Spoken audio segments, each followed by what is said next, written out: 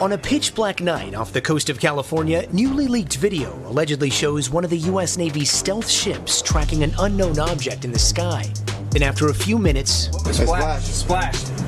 Mark bearing range. the 2019 footage obtained by filmmaker Jeremy Corbell, who last month released another video of an upside down pyramid UFO hovering above a Navy destroyer. This is part of a much larger series of events that we're going to be learning about.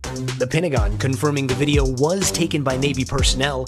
The images now being reviewed by a government task force set to brief Congress next month on what they call unidentified aerial phenomenon. This weekend, 60 Minutes speaking to fighter pilots who reported seeing unidentified flying objects. every day. Every day for at least a couple years. Former Deputy Assistant Secretary of Defense for Intelligence Chris Mellon says sensor technology has improved dramatically over the years, but pilots have reported seeing some of the same things for decades. Are there any similarities between these recent incidents and incidents that go back as far as half a century? Uh, there seems to be a lot of continuity there. He says one of the biggest problems is the stigma that comes with talking about UFOs. Something a Navy lieutenant commander also told CBS she struggled with after she and three others saw a 40 foot flying object disappear in 2004. You know, I think that over beers, we've sort of said, hey man, if I saw this solo, I don't know that I would have come back and said anything because it sounds so crazy when I say it. Or how would you describe this this thing that we can't explain? What we're seeing are a number of distinct, different things. Sometimes we're seeing a 50 foot object that can travel at hypersonic speeds and seemingly go into orbit or come down from you know altitudes uh, above potentially 100,000 feet. Do you think that we will see a release from the government that shows something conclusively? There is more that could be shared, will be shared with Congress for certain. I don't see that coming to the public soon.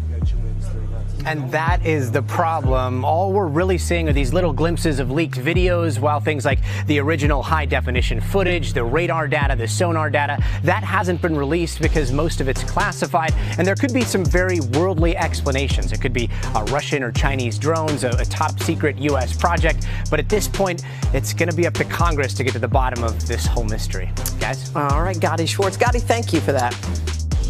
Black triangular UFOs have been sighted since the late 1990s. The US owns them, not Russia or China. Greetings world. We are the Aegis Alliance.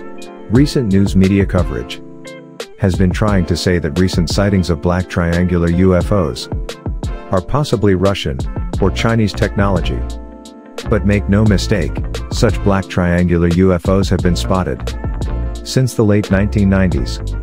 Former 4600 second AISS agent, Kyle James Lee, has said these spacecraft are believed to be owned by the US government, reverse engineered from extraterrestrial spacecraft in above top secret black projects.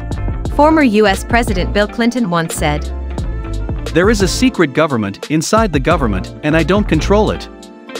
This would explain why the Pentagon is the only government agency that cannot pass an independent audit. There have been calls by Congress for the Pentagon to be audited, but the efforts have always failed. Money that is unaccounted for has been flowing into these government black projects for many years. Rest assured that such black triangular UFOs have been sighted for decades, and they are not the work of Russians or the Chinese. The US government owns these spacecraft and has since at least the late 1990s. Aegis, in the Aegis Alliance, stands for the Activists, Alliance for the Exposure of Government Intelligence and Secrets. We do not claim to be a leader of the Legion, the Aegis Alliance has anonymous allies.